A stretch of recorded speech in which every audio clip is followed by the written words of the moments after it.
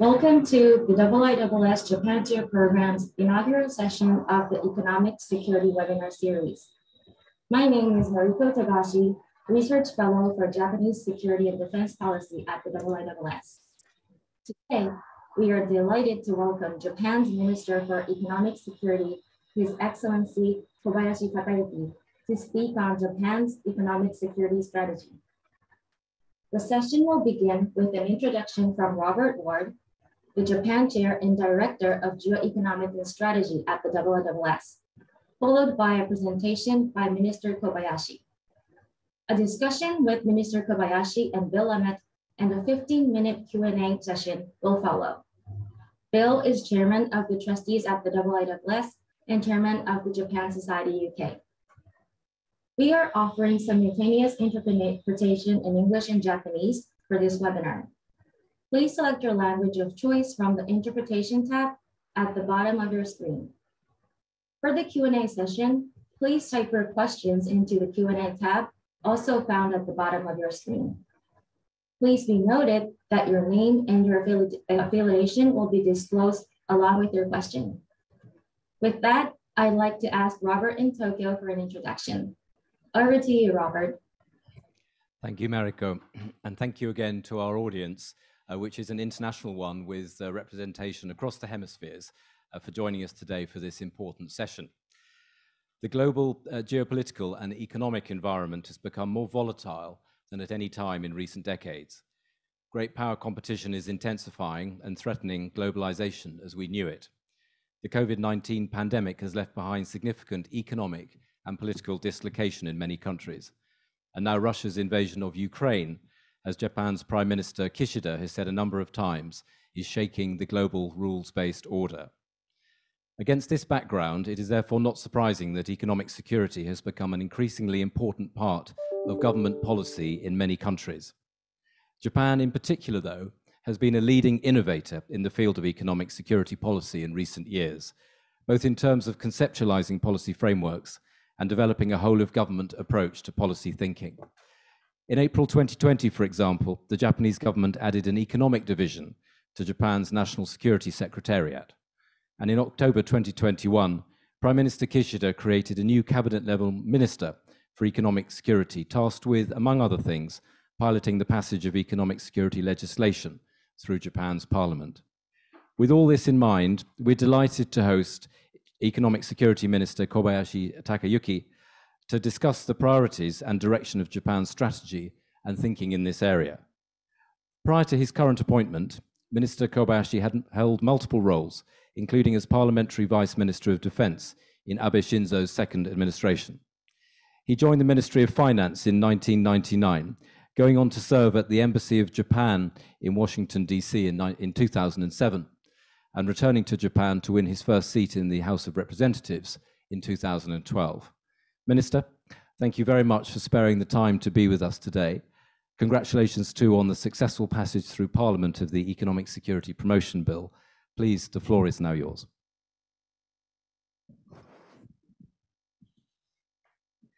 And thank you for inviting me to this prestigious IISS webinar today. Uh, I'm Takayuki Kobayashi, uh, Minister in charge of the economic security under the current uh, Kishida administration. Uh, I'm also in charge of the uh, science and technology policy as well as the space policy. And uh, uh as mentioned uh, right before now, uh, prime economic security is one of the top priority agenda of, of Prime Minister Kishida. so he created a new post in the cabinet last October. Uh, I'm there, uh, definitely I'm the first Minister of Economic Security in Japan.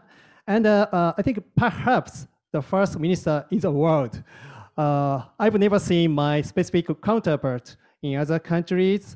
And uh, uh, I hope that we will be followed by the other countries. So anyway, yesterday, as uh, Robert san uh, mentioned before now, uh, Economic Security Promotion Act was uh, enacted in the Diet uh, I recognize that uh, we have taken a, first important step uh, in ensuring the uh, safety of our nation and our uh, people from the uh, economic front. So Uh, today, uh, I'm looking forward to the uh, dialogue with many participants in this webinar. And I'm a little bit nervous because the, I see Mr. Ichita Yamamoto, who is a governor of Gunma Prefecture. he's one of the Japanese famous politicians who I have most respected. But uh, anyway, uh, as a cabinet minister, uh, I would like to be careful about the, the accuracy of my remarks. So let me use the simultaneous interpretation from now on. So first of all, I would like to speak, of course, about economic security today, but I have been a politician now for 10 years, and in this decade, looking at how we can make Japan a country which leads the world, this has been really at the, the core, the heart of my political activities in this decade. And for Japan to become a country which can lead the world, we, of course, need to increase the state capacity of Japan. So what do we mean when we talk about this state capacity? What I think is at the core of this is looking at economy in order to make a more wealthy and abundant society, and also security in order to protect the lives and livelihoods of the people. I think that these are the two different wheels of the car that we need to have functioning together at the same time. And so when we support, of course, or look at what supports economic security, it is innovation and it is also education and human resources nurturing as well. When we look at what is at the core, the, the foundation of this state capacity, and look at this economic security, I think, well, economics, the economy and security are issues which cannot be separated. Until now, perhaps they were looked at as, or there was a trend to see them as two independent fields, economy and security. But we are now in an era where this cannot be separated anymore. If we take, for example, technology, looking at GPS or internet technology and so on, many of these were born from military research and are now being used for civil purposes, civil use. However, in addition to that, things which are used, uh, technology for civil use, such as, for example, example, semiconductors or quantum technology is now in an era where this is also can potentially be used for military purposes as well. This technology is indeed something which has the possibility to shift the different you know, situation of the states. If we look at, for example, the struggle over hegemony between the United States and China, this is connected in this element as well. Therefore, for Japan, we are looking at how we can have a further increase in our technological capacity as well uh, for the country. In addition to this as well, when we look at the issue of the supply chain and its vulnerabilities which have come to light under the COVID-19 pandemic here in Japan, of course, masks disappeared, medical gowns disappeared from the hospitals, the healthcare frontline. Also looking at the supply chain for semiconductors, which are needed for so many parts of our everyday lives, are also under threat as well. We look at the situation in Ukraine as well well being very difficult, tense at the moment. And this is also adding, for example, looking at energy such as natural gas, or also looking at different uh, metal resources such as palladium and so on as well, are also being discussed uh, quite a lot these days. When we look at digitalization and so-called DX now as well, of course, this is something which is uh, very positive, but it also leads to the increased risk of cyber attacks, and also there is an increased importance in the data maintenance, uh, data control management, and so on as well. In order to protect the lives and livelihoods of the people, we need to be able to respond to these diverse fields as well. Until now, this had been approached from traditional security approaches such as diplomacy or defense. However, not only, or we cannot be limited to these, but we need to look at from the economic perspective how we can be protecting the lives and livelihoods of the people. This approach is necessary now. And in that regards, the new legislation here in Japan, and particularly looking at uh, there was different uh, revisions of the national security laws, for example, uh, within within the NSC, looking at until now, it had been just the diplomacy and defense policies being made clear within that. But now economic policy has been added as a as a clear category within this as well, showing that for Japan, within the concept of security, this needs to be supported from the three perspectives of diplomacy, defense, and also the economy. In addition to this, the Kishida cabinet has for the first time created the ministerial post uh, for economic uh, policy as economic security, as I mentioned as well. I recently went to the United States, but even in our ally, the US, there is not a direct counterpart to this same position as well. And I believe throughout the world as well, there is not actually a minister specifically for economic security in other countries in the world, as far as my understanding. And this is really why I think that our position, our stance as Japan to prioritize this is something that we can really push to the fore even more and appeal to the international community about its significance. So, what is economic security? To say in one word, it is looking at how we can ensure the national interests from the economic perspective. So, when we talk about what these national interests are, well, first of all, the center, the core of this is, of course, looking at the sovereignty and independence of the state and protecting the lives of the national citizens. I think this is the most important point. And what we can say in addition to this is looking at through economic economic growth, how we can have even further economic prior, uh, prosperity being realized. And the third point when we're talking about national interest is looking at fundamental values and rules and how we can uh, protect and maintain the international order under these. These three points are together what I consider as the national interest, and these are to be protected through economic security. Within uh, proceeding in policies relating to economic security, what is the most important, I believe, is to look at our country, Japan's, having our fundamental way of thinking, our concept being uh, put forward. Kishida, Prime Minister Kishida has, within his new uh, security po uh, policies now being developed, as he has stated, within this, looking at, under these new policies, what kind of basic concept, basic way of thinking in regards to economic security will be positioned. This is something which needs to be considered as part of this process. And within this, I believe as a very fundamental concept, what, or there are several points which I would like to prioritize. One of these is looking at the ensuring of autonomy. This is meaning understanding our country's weaknesses, our country's vulnerabilities, and looking at how we can overcome them. The second point is looking at in what areas we can be superior to other countries, have more capacity, and so on, and look at how Japan can become a, a vital presence uh, in, within the international community. So, looking at how Japan's strengths can be recognized and enhanced enhanced. This is the second point. And so after overcoming the weaknesses and enhancing our strengths, to look at how we can strengthen Japan's position within the international community, how this can be more enhanced, and how the international order and rules can be formed also in accordance with our national interests, and how we can take an active role in this as Japan. And in addition to these points, looking at, of course, there are many different approaches and angles from which we need to appro uh, approach economic security. In addition to this, there is, of course, the importance of having actual growth of the economy, also gathering analysis and also uh, sec securing of information, having strategic promotions, and also having a strong uh, regime for the purpose of this as well, including also human resources, uh, capacity building and development development as well. A strategic combination of these, I believe, is what is going to enable the strengthening and enhancing of our economic security policy as Japan.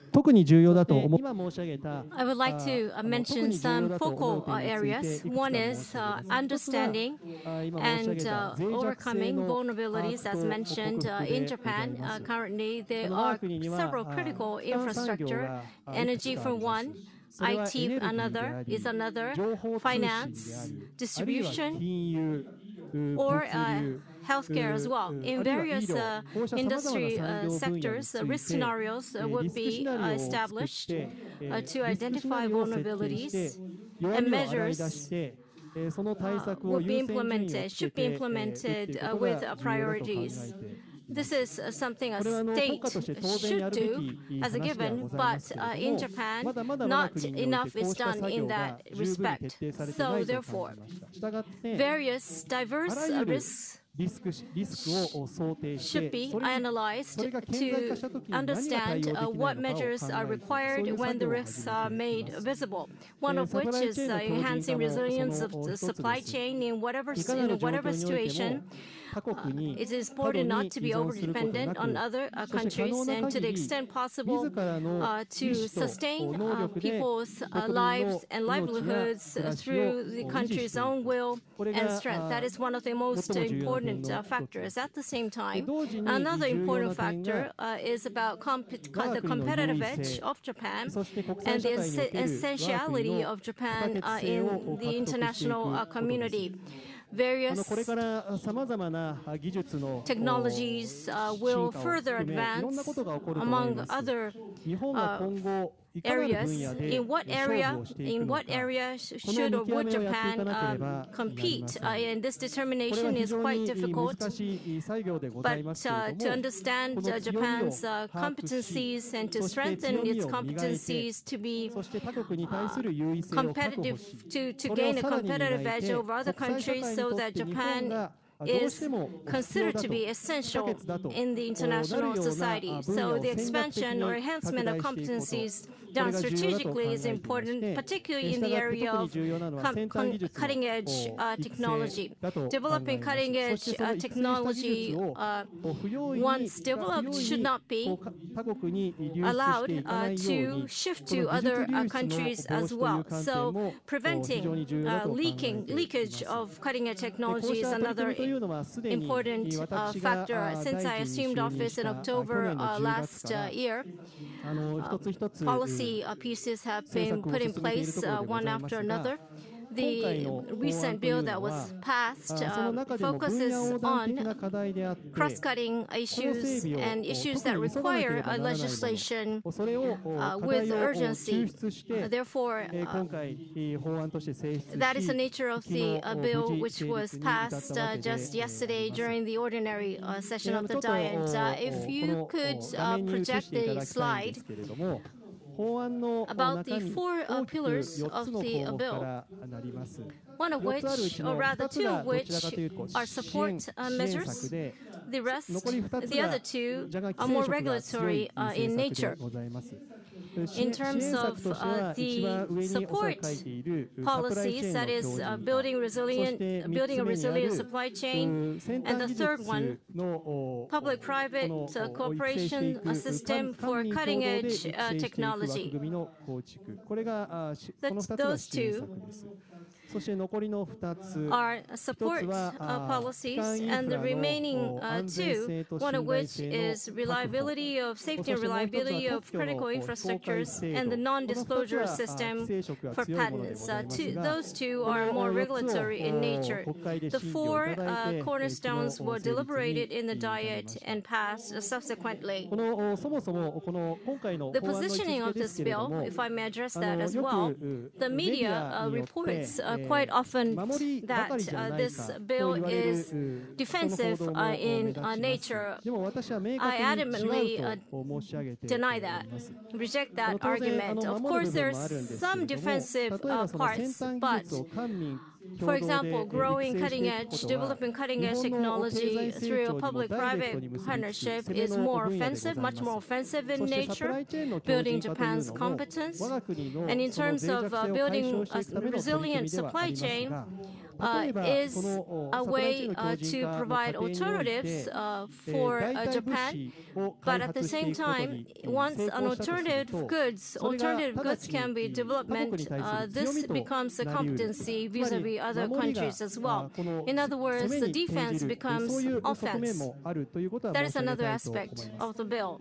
And one more point, uh, as emphasized during the Diet deliberation, this is this bill is an economic economic security bill is short, but not just the entire, not the entire economic security. It's the first step, first important step towards establishing economic security, but there are other outstanding issues as well. A national security policy includes economic security and how economic security is positioned as part of the national security uh, should be considered and identified uh, to address other outstanding issues. Another point mentioned in the media is that the bill is uh, purely regulatory. That is not true at all. Economic activities are free uh, to do. Innovation must be open in this era a single company or a single country in order to uh, create a new value, in order to enable innovation, no uh, country or no company can go to it alone. So economic activities, academic endeavors, and innovation must be uh, free and open, and therefore no, there should be no excessive regulations, and there should be foreseeability guaranteed as well by reducing uh, corporate uh, burdens at the uh, same bur corporate burden at the same time. so that is the uh, position based on which uh, public lives and livelihoods must be uh, protected, whatever the situation may uh, come from an economic security perspective. That is my uh, mission as a Minister of Economic Security. Thank you uh, very much, Minister, for that uh, thought-provoking uh, presentation. Uh, some some highlights for me. I think um, I think you are the first globally the first minister of economic security. We are looking to see if there are any others in uh, anywhere, but we can't find any yet. So I think you're right in making that uh, point. Um, uh, it, the importance, uh, it, I think, very important. You raised um, the, the fact that economy and security can't be separated. I'm sure we'll be coming back to that. Um, you mentioned the flow of technology from a civilian sphere to the mili military sphere. That's obviously very important strategically. I think you, you highlighted in your comments uh, the breadth uh, that economic security covers now, the breadth of areas. Um, I was taken by your, uh, your reference to fundamental values and rules uh, as well, which I'm sure um, uh, we were coming back to as well. Um, also, you made a very strong point, and I, I think we, we, shall get this in some questions about the bill not being defensive. You're very clear about that, but I'm sure our, our audience will be interested in hearing more about that. Uh, very importantly as well, and I think we'll come back to this in questions, you mentioned the importance of maintaining growth, economic growth, absolutely right for resilience, of course. Uh, and finally, what I think is a very interesting st strategic concept from Japan, uh, that of strategic indispensability. Um, uh, and again, I, am sure we'll be coming more back to that in the future, in the question Q&A session. Um, I'd now like to uh, invite Bill Emmott, uh, our discussant today, to make his comments. Uh, Bill will be known to uh, many of you. Uh, Bill is currently chair of the IISS Trustees. Also, he's chair of the UK Japan Society. Um, and he was from 1993 to 2006 uh, editor in chief of The Economist newspaper. Bill has also written some 15 books, many of which have been on Japan and some of which are in Japanese. Uh, so without more ado, Bill, over to you, please.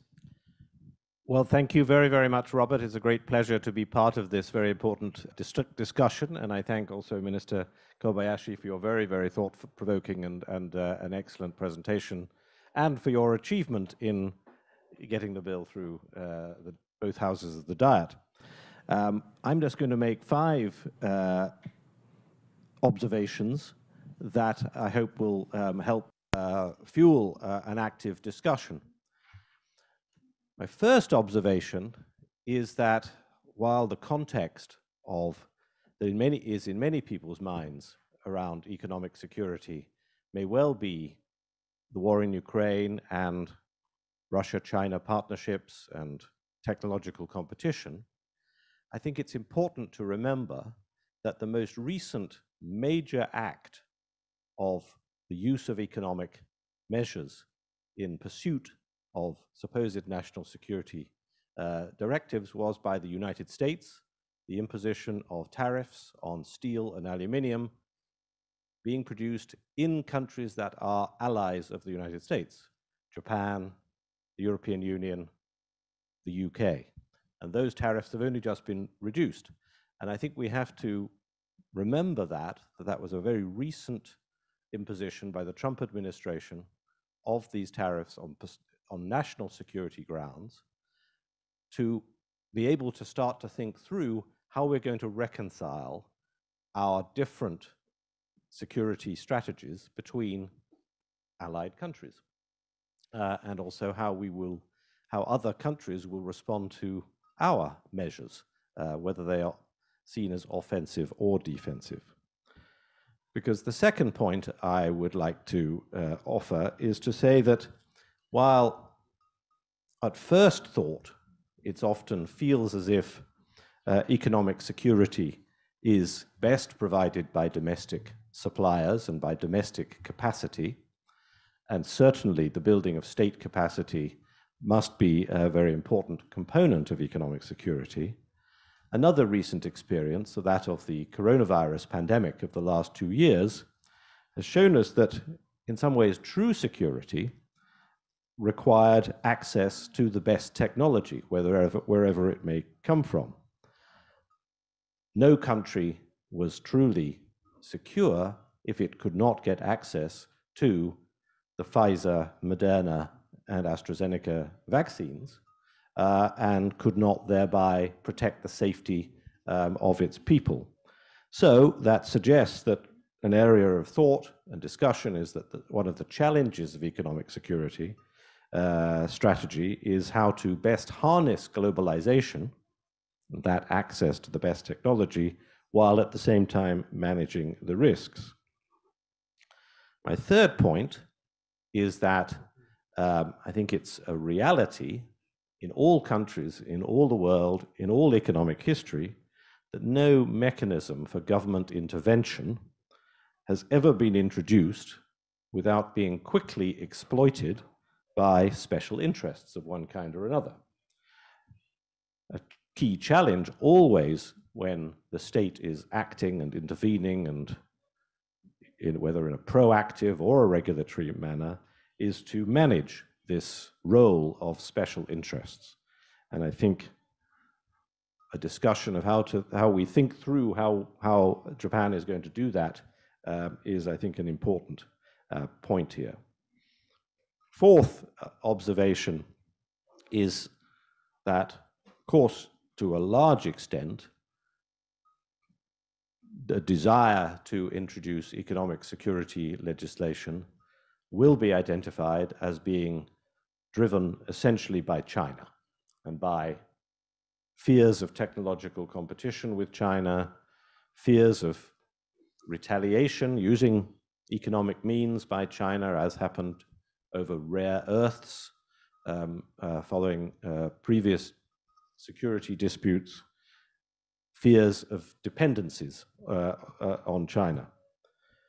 So one may say in a positive way that the introduction of such economic security measures and strategies are signal an end to what could be described as a naive policy towards um, uh, China and those technological uh, issues. But on the other hand, one has to ask are we prepared for the frictions that this may cause with China, and how are those frictions themselves uh, going to be managed? And the final point, which comes back partly to my observation about America's national security uh, measures under the Trump administration, is that I think a key challenge with economic security, especially as more countries around the world follow Japan's example by appointing a minister for economic security and establishing economic security as a central part of national security thinking, is how, with like minded countries, these strategies can be coordinated. Uh, it has, I know it, it has been stated that the measures that Japan will use will not be, it will not be done if they are in some way um, in contradiction to internationally accepted rules. That is perhaps something that is easier said than implemented. Uh, I think it'll be an important question to ask. The degree, the way in which many of the regulatory measures many of the, of the, of the, of the operationalizing of this economic security strategy, how they fit with, for example, agreements under the CPTPP um, and uh, other, um, other such international agreements, how that is going to be handled, which leads one to wonder, do we particularly meet between, as I say, like-minded countries, allies, do we need an economic security equivalent, an organizational structure by which we deliberately, between like-minded countries, reconcile our economic security strategies, perhaps the modern equivalent of the COCOM system during the Cold War, which managed the exports, export, or, or indeed sought to prevent the export of sensitive technologies to the Soviet Union. Is there an organization begging to be constructed to manage these economic security measures? I'll stop there. Those are my five observations. Thank you, uh, Bill, and thank you again, Minister Kobayashi, for your uh, for your comments. Uh, I'm sure this has given our audience uh, a lot of material for their for their questions. So please uh, cogitate um, uh, while I continue to give some logistics. Um, we're going to open up the floor now to uh, questions from the audience. So please uh, do type them into the uh, Q&A section. Uh, I understand we've already had quite a steady stream of questions uh, coming in, so please uh, do keep them coming in, and we'll, we'll answer, we'll get you to ask them where we can. but when you do ask your question, please um, state your affiliation too, so we know where you're coming from. But before I turn to the audience for questions, I'd like to take the chair's privilege to ask um, the first question, and, and, and Bill, obviously, to, to answer um, as after the minister, uh, please. Um, the new uh, legislation does imply significantly closer relations between government and business. I think uh, Bill, uh, Bill alluded to this, and, and this goes to your point, Minister, about uh, the importance of growth. Uh, this closer relations is an inevitable part of economic security, given what you said about about how economic and national security are, are, so closely aligned. But how do you ensure that this doesn't mean a return to the old style state industrial strategy? Uh, that's one part of the question. And the second part is where do you see the biggest challenges uh, for business in implementing the provisions of the, uh, of the law?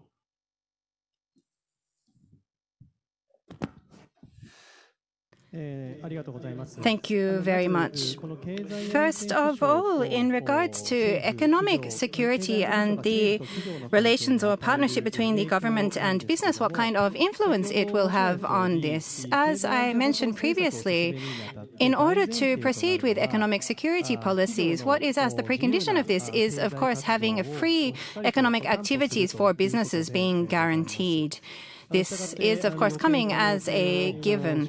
Looking at, for example, how to make sure that this is as much as possible ensured, while at the same time, the business operators, the burden on them can be reduced as much as possible as well.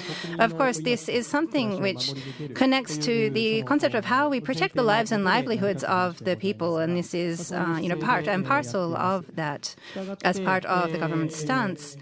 Therefore, as was briefly mentioned before, before mm-hmm. as mm-hmm. well, looking mm-hmm. at well, looking at the government intervening in order. Well, it is not a situation of the government intervening to protect ventured or existing interests.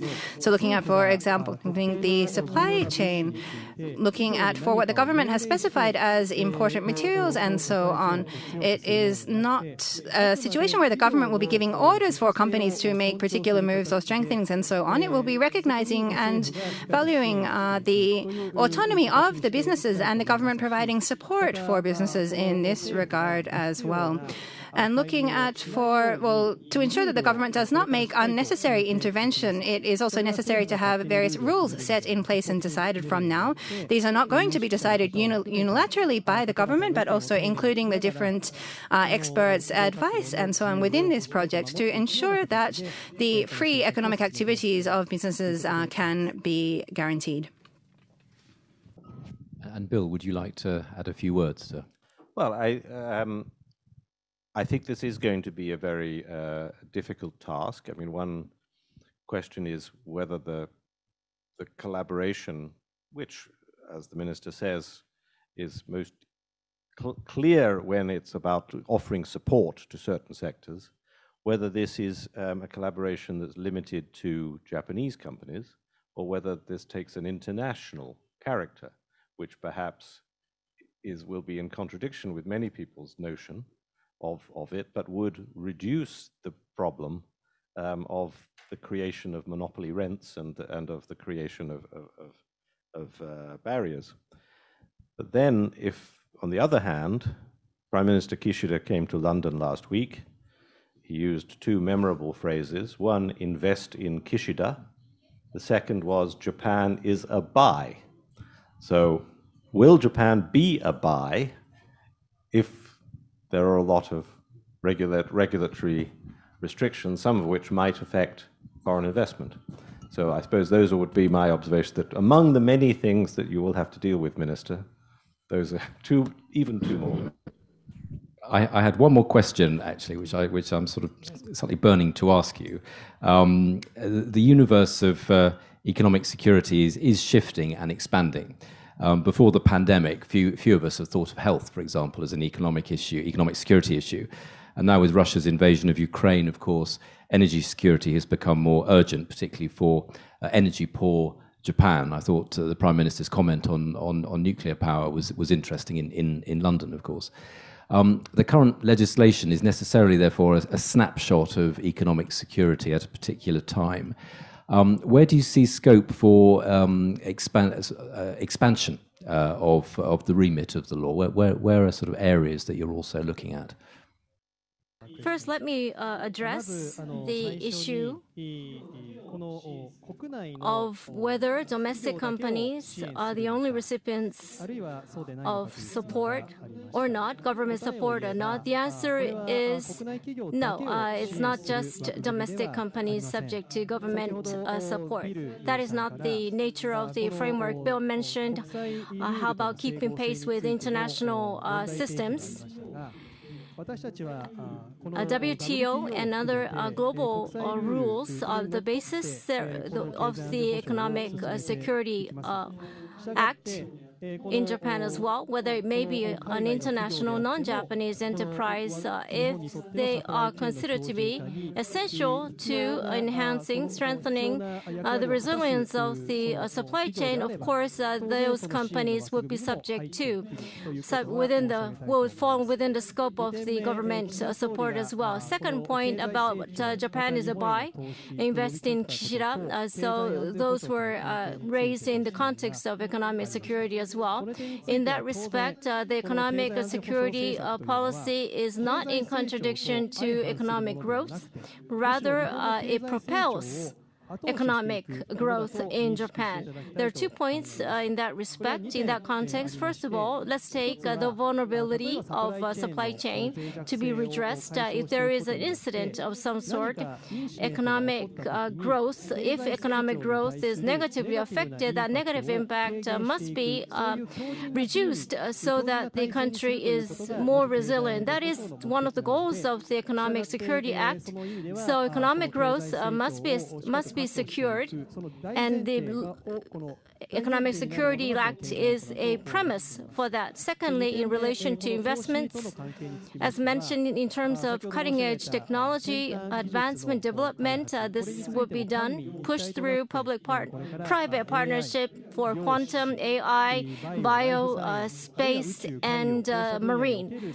So cutting-edge uh, technologies in those uh, areas uh, would be would encourage foreign direct investment as well during the Kishida administration. The during the Kishida administration, economic growth is one of the cornerstones, as announced. And third point, uh, in response to Robert, in terms of uh, economic growth. Uh, rather in terms of the expansion of the economic security, how what is their reach?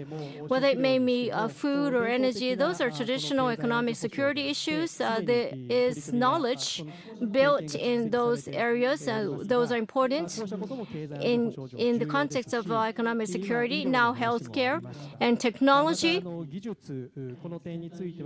cutting edge technology is developing it's been developed rapidly. Uh, how to keep pace with uh, technology development are also critical focal areas as well. As mentioned at the beginning, economic security uh, is to ensure um, national interests from an economic uh, standpoint. And the premise to that is included in the economic uh, security. So automatically the area scope of economic security is defined as well. Thank you for that full, uh, that, that, those full answers, Minister. Um, we're going to move now to the uh, questions from the audience, uh, and we've got one. The first one is from uh, David Atkinson, who's chairman and CEO of Konishi Decorative Arts and Crafts Company Limited, and he's also a visiting uh, professor at Nara Prefectural University and has done a lot of work on productivity. Uh, and his question relates to that. Um, uh, and the question goes National economic security often entails the identification of risks and strategies to respond to those risks, which may include diversification of supply chains to reduce geographic and other risks.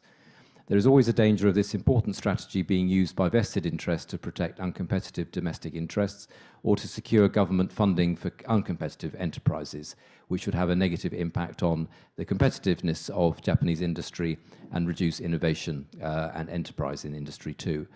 Uh, what measures does the government envisage uh, needing to take to strike an efficient balance between security and competitiveness? Thank you for this question. In regards to the concerns raised to this, I would like to say that you do not need to have a concern about these points. For example, looking at the issue of the strengthening of the supply chain or looking at what materials will be included in part of this policy as well. Of course, this will look at, for example, industries which are somewhat fading or looking at how to pr protest vested interests. It is not for the purpose of this. And they're looking at having uh, strong rules will be put in place from now to ensure that it is not serving to have this danger of uncompetitive enterprises or vested interests and so on. So I think that these concerns raised are not necessary. Did you have any anything to add, Bill? Uh, well, I suppose the only thing I'd add would be to say that I can absolutely see that that's not the intention. Um, I think that it's legitimate, though, to worry that it might be what happens um, because partly because this strategy will endure through successive governments and successive ministers and successive economic growth and recession cycles. And so it is, historical experience tells us that uh, in, in, such environment, um, uncompetitive industries or sectors look for any opportunity they can find. um, so that I think that it's it's something that uh, absolutely, while it's not in your intentions, it's something that the, the system is going to have to guard against. Thank you, Bill. Um, if I can add in regards to that, of course, this is something, if we're just looking at materials uh, and so on as well, uh, and goods, sorry, looking at support for Japan supporting all of the goods. Of course, we don't have the capacity to support for all forms of goods, all categories and kinds of goods. So therefore, looking at when there is a time when the supply is in danger from the perspective of how to protect the lives and economic activities of the people, the social activities of the people. So this will be really looking at those particular goods which have a very direct uh, potential impact on this as well to ensure that there is not an over-reliance on other countries and so therefore define defining these particular important goods and looking at not only the overdependence on other countries as well, but in the future, looking at areas where there may be a risk of overdependence in the future, including new technology as well. Looking at these also being included as part of the targets to be considered. And so we will be creating concrete rules in regards to this uh, so that we can indeed deal with these concerns uh, that have been raised to ensure that they, we're not inviting these to be a risk and ensure that this can be protected prevented. Thank you. Um, next question comes from uh, Dr. Maria Shagina, who is our incoming uh, fellow for at the IISS for, for sanctions standards and strategy. Um, and uh, Maria has a question on uh, the EU Japan joint statement uh, pointing to energy collaboration amid, amid tight energy markets and in light of the sanctions on Russia. Um, what is Japan's plan to phase out imports of Russian fossil fuels? Uh, and what are the points of collaboration between the EU and Japan, given that both countries are energy dependent, uh, both uh, countries and the EU uh, as an organization are dependent on, energy dependent on Russia? To begin with, with respect to uh, Russia's invasion of uh, Ukraine, this is a non provoked, unprovoked uh,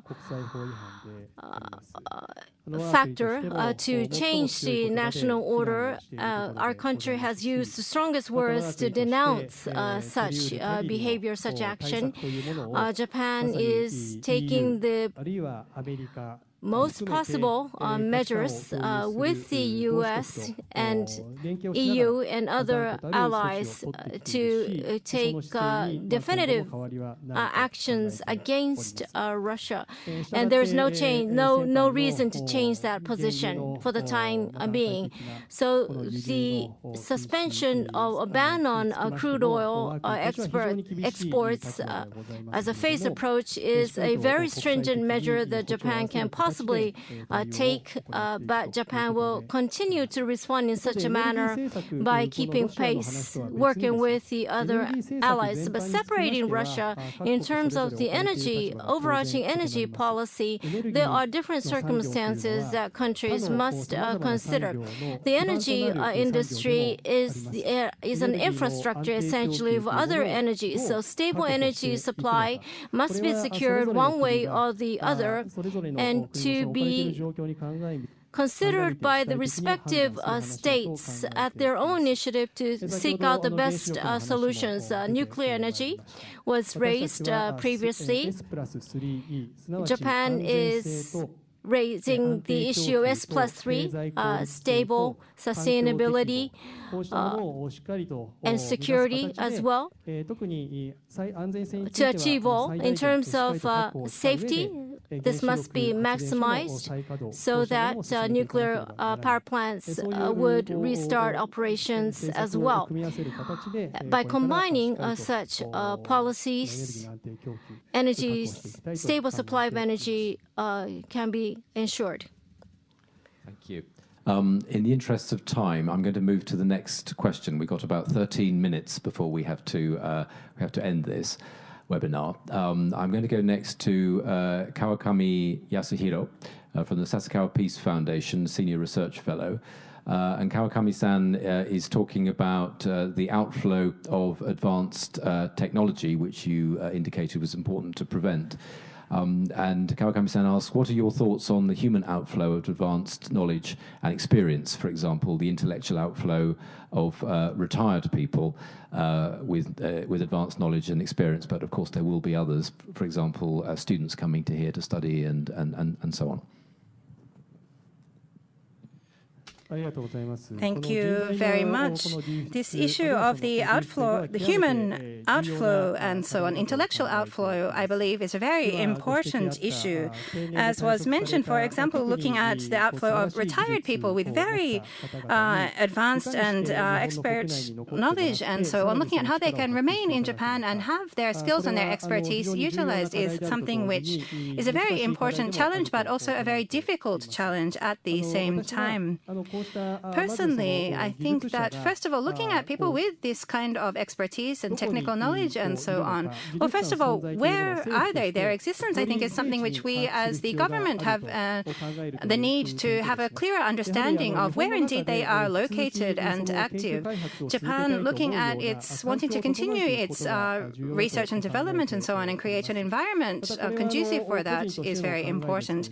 And my personal opinion in regards to this is also, for example, as the state, looking at how we can have very, you know, challenging, very uh, projects as well. But when these are being promoted, for example, people either retired people or young people as well with particular skills and expertise, taking the challenge of joining these projects and having the government, the state, create the environment that they can do that is, I think, one solution.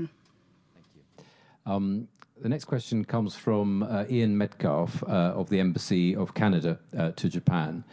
Uh, and Ian Metcalf uh, asks how will the Japanese government offset the administrative burden on companies engaged in procuring critical uh, commodities?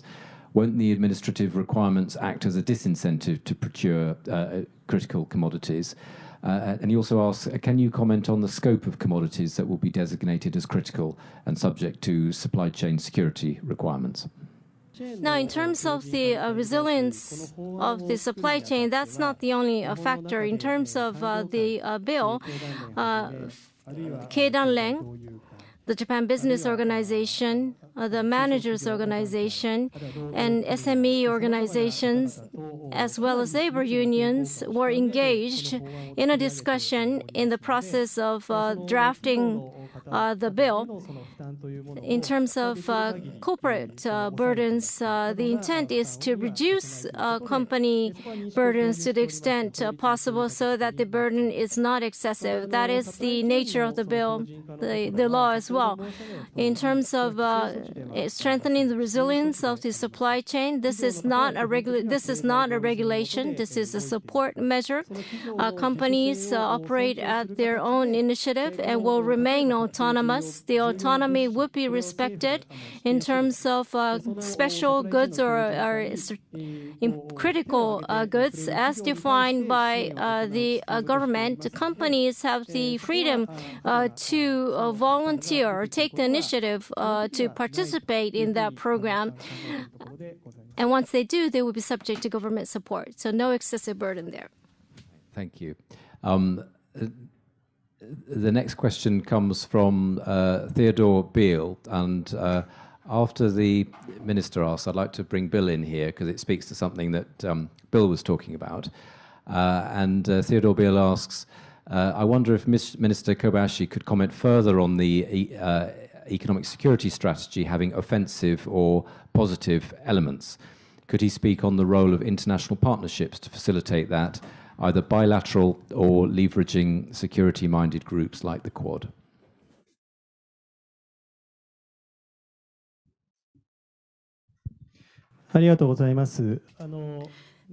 Thank you very much for that question. First of all, the Japanese economic security and its strategy, as was mentioned before as well, is not something which is only, well, of course, looking at the economic power, economic means, and so on of Japan, not looking at trying to, you know, force some kind of changes in uh, actions and so on of other countries. Rather, it is looking at how to reduce and how to minimize our weaknesses and enhance our strengths in order to make a stronger position of Japan within the international community and contribute to international uh, rule and international orders. And therefore, it is, of course, looking at, well, it is focusing on strengthening our initiatives, our activities as Japan.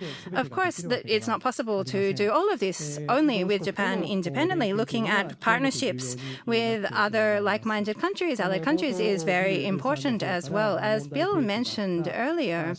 For example, the CPTPP, for example, the Quad, and these different international partnerships and structures, I believe, or we believe, are extremely important.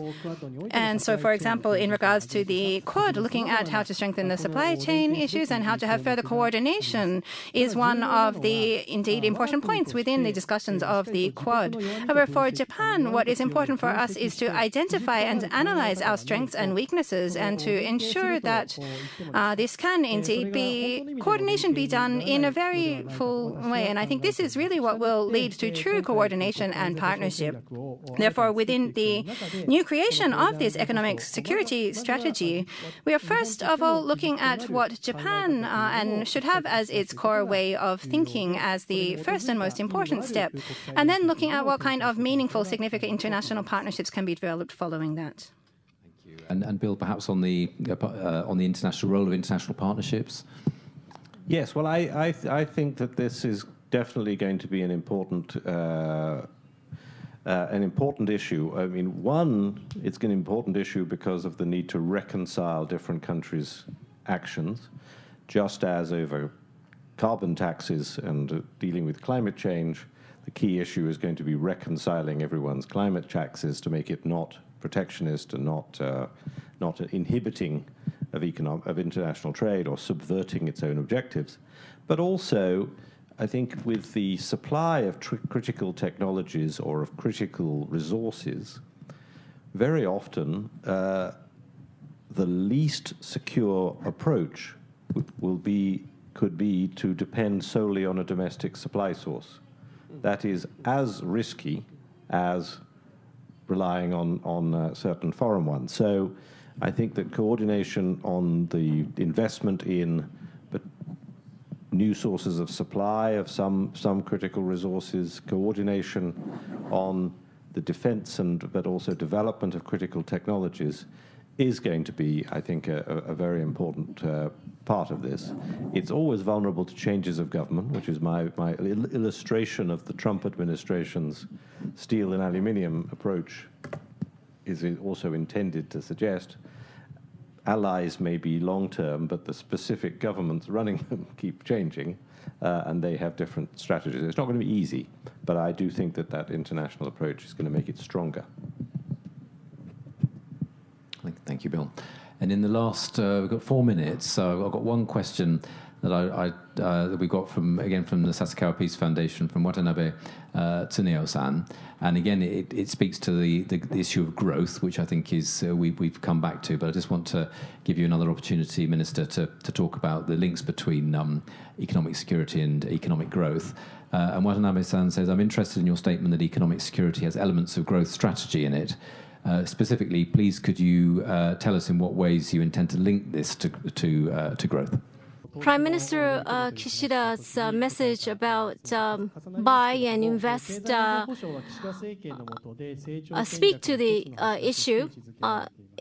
In the Kishida administration, economic growth is one of the uh, cornerstones. Uh, there are two reasons. If there is a special circumstance or incident affecting uh, economic growth negatively, that has to be uh, minimized. The negative impact must be uh, minimized to the extent possible. That's the purpose of the economic. That's the purpose of economic security.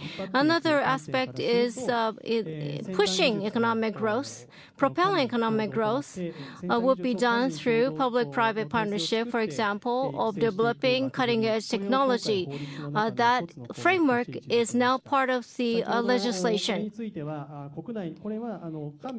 In that context, uh, although it will be, it, it's done through public private partnership, but this is not closed to other uh, countries or other international enterprises. Obviously, partnerships uh, would be established uh, with international counterparts, especially allies, and uh, that is at the crux of the uh, act. And during the diet deliberation, I made uh, clear that international collaboration would be essential to that effort and would contribute directly to economic growth. Thank you. We have more questions coming in all the time and uh, very detailed questions. So uh, we're out of time, though. Uh, so, uh, but thank you to the audience for being so engaged uh, with with this uh, with this important session. Um, thank you, Minister Kobashi, and thank you, Bill. for this insightful and rich discussion on Japan's economic security strategy, but particular particularly thank you, Mr. Uh, Minister Kobayashi, for taking the time uh, to speak uh, with us on this, this, really critical topic and for off offering your expertise uh, and insights uh, on Japan's pioneering economic security strategy. Kobayashi Daijin, domo arigatou gozaimashita. Uh, and we hope that our audience tuning in from around the world enjoyed this as much as we did here, uh, in person, of course, which is also a treat uh, these days, and in Japan. Um, uh, and a recording will be made available on the IISS website, which is www.iiss.org, uh, within the next 24 hours. And this is the first in a series of economic security webinars that the IISS Japan Chair will be holding. So we'll hopefully see you at the few future uh, webinars as well. Thank you and goodbye.